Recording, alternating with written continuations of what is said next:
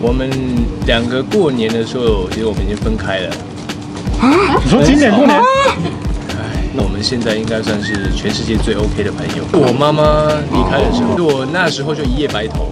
歌词里面有提到说世界太乱，然后人心太烂嘛，对不对？最近的时事上面会不会也很有感觉？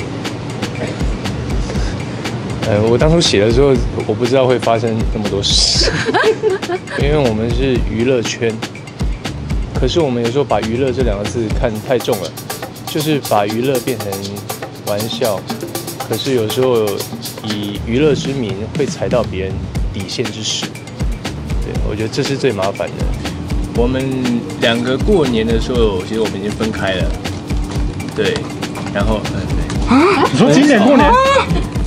农历年还是新 还是一月一？好，我们过年的时候分开，然后呃分开的时候，因为我们其实从录哥哥的时候聚少离多，对，嗯，那我们现在应该算是全世界最 OK 的朋友，我们还是会联络，然后还是一切都 OK，我们还是会哎有有问题，然后有什么还是会跟大家分享。就是我妈妈离开的时候那一段时间。